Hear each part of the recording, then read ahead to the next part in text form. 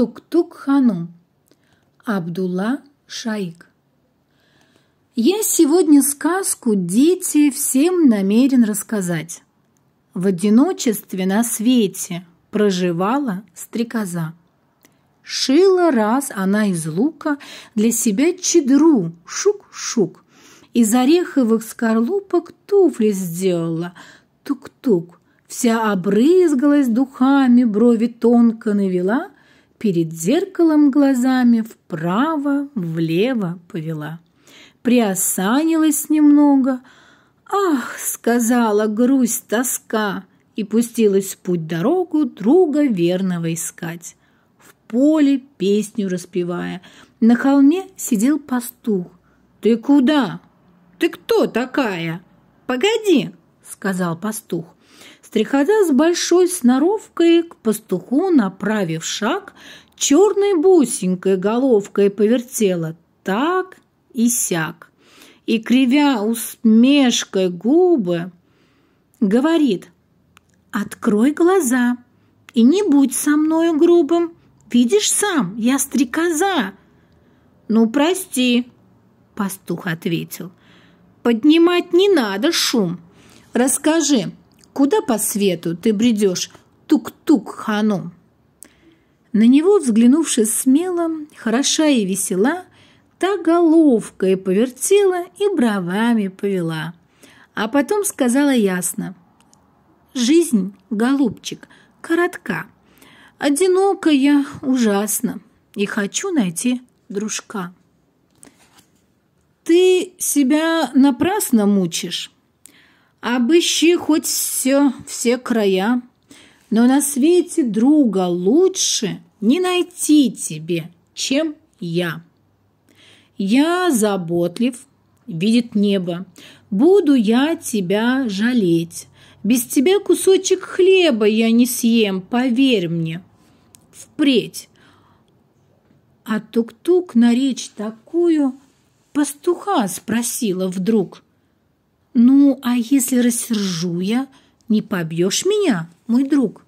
«Как же! Вот моя дубина!» Отвечал с охотой он. И, вильнув в испуге спинкой, стрекоза убралась вон. Дальше шла она дорогой. Смотрит, лис навстречу ей. «Подожди!» — взглянул он строго. «Отвечай-ка мне скорей!» Почему принарядилась так, как будто под венец? И зачем ты в путь пустилась?» — молвил рыжий молодец.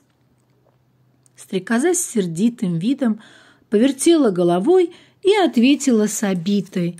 «Будь позорче, милый мой! Для чего вопросов груду задаешь мне на обум? Знаменита я повсюду. Я зовусь Тук-Тук-Ханум». «Ну, Ханум меня простит и...» Лис с улыбкой отвечал.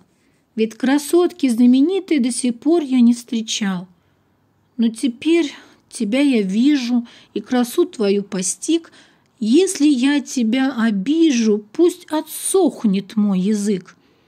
О, прелестное создание, расскажи, куда идешь? Для меня твое молчание словно в сердце острый нож». «Милый лис!» Тук-тук сказала. «Жизнь ужасно коротка. Жить сироткой счастья мало. Я ищу себе дружка». Лис тогда еще нежнее говорит. «Обшарь кругом, не найдешь меня вернее, быть позволь твоим дружком». Просьбу, выслушав простую, стрекоза спросила вдруг. «Ну, а если рассержу я?» Не побьешь меня, мой друг? Нет. Не вылечишь пинками. Попрыгунью стрекозу. Лучше я тебя зубами на кусочки разорву. Стрекоза тогда в тревоге, словно листик, затряслась, и скорей давай им Бог ноги, без оглядки унеслась. Шла тук-тук, расправив плечи. Все вперед, вперед, вперед, и заметила навстречу сусликбей, сопя идет. Лапкой издали ей машет, уши сразу навострил. путешественницу нашу сладким голосом спросил. Темнокудрая красотка, ясноглазая звезда, что за стан, что за походка, что за ножки, ты куда? Восхитительная фраза в сердце ей влила щербет, и вуаль, отбросив сразу, говорит она в ответ. Одинокой жить так тяжко, жизнь ужасно коротка — и мечтаю я, бедняжка, отыскать себе дружка. Улыбнувшись ей пошире, отвечает суслик Бей. Лучше друг я в целом мире, не ищи других друзей. Хорошо, пойду с тобою. Лишь одно ты мне ответь. Если я тебя расстрою, ты не схватишь сразу плеть? Что ты? Брось свои тревоги. Как бы ты ни злилась, я, хвост убрав с твоей дороги, буду кроток, жизнь моя. И тогда ему с любовью отвечала так, тук-тук. Хороши твои условия. Я согласна. Ты мой друг. И за лапки, взявшись дружно, стали жить они вдвоем. В доме Бея все, что нужно. Полон лакомств Бея дом. Как-то осенью туманно верный друг сказал тук-тук. Нынче праздник в доме хана. Он позвал меня, мой друг. Буду там шашлык, лепешки, пахлава, рахат-лукум. Я пойду, а ты немножко поскучай, тук-тук, ханум. Стрекоза сказала, ладно, посижу ж как-нибудь. И о явствах грезя жадно суслик бей пустился в путь. Во дворец, явившись ханом, он забрался в уголок, грыз там косточки барана, пахлаву и пирожок. Вытирал усы бумажкой – а Тук-Тук мечтал своей. Жаль, одна она, бедняжка. Отнесу покушать ей. Стрекоза же в норке, сидя, поскучала час-другой, а потом в большой обиде вышла в лес на водопой. Захотелось ей напиться, долго ли, коротко ли. Ямка, полная водицы ей попалась на пути. Над водою наклонилась и упала в ямку вдруг. Ай, тону!» «Что было?» — машет лапками тук-тук. «Ой, я плавать не умею! Ай, спасите поскорей!» Плач бедняжки все сильнее, но не слышит суслик бей. Вдруг внезапная надежда скачут двое вдоль межи. В серебре у них одежда. Видно, к хану путь лежит. А тук-тук ханум, рыдая, бултыхается в воде и кричит — «Я утопаю! Помогите мне в беде! Поскорее, хан, умчитесь, там пирует суслик бей! Пусть узнает славный Витязь о лихой судьбе моей!» Издаки коней сдержали, осмотрели всю кругом, никого не увидали и помчались хану в дом. Время быстро пробежало, и пришел пути конец. Соскочив с коней усталых, Входят оба во дворец. Все весельем так кипело и сверкал огнями зал. Удивительное дело. Вдруг один из них сказал, «Пять минут назад, не более, мы проехали лесок, и когда скакали в поле, слышим чей-то голосок. Он назвал, кричал с тревогой про какую-то беду. К сожалению, слов немного было слышно на, на ходу. Поскорей, хан, умчитесь, там пирует суслик бей, пусть узнает славный Витязь о лихой судьбе моей.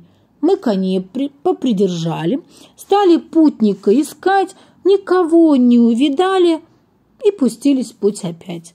Про беду своей подруги, услыхавшей вдруг молву, Суслик Бей в большом испуге позабыл про вкусный ужин, из дворца помчался вон, добежал, вспотев до лужи, и услышал слабый стон.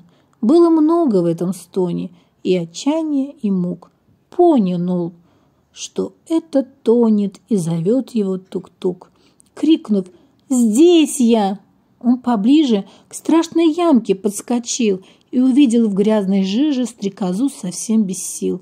Растопырив в страхе ножки, затыхаясь и кряхтя, легкомысленная крошка погибала, не шутя. Сев у ямки на дороге, перегнувшись через край, суслик бей сказал в тревоге. «Ну-ка, лапку мне давай!» Но с отчаянием во взоре стрекоза кричит в ответ «Нет!» Не дам! С тобой я в ссоре! Ты причина этих бед!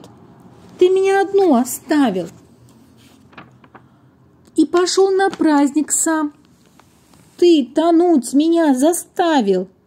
Дай же лапку. Нет, не дам. Не сердись. И знать не знаю.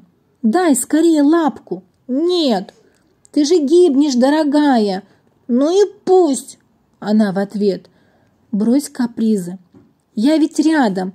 Я спасу тебя. Не смей. Не желаешь и не надо, рассердился суслик Бей. И упрашивать не стану. Плюнул в воду он в сердцах и пошел обратно к хану пировать так до конца.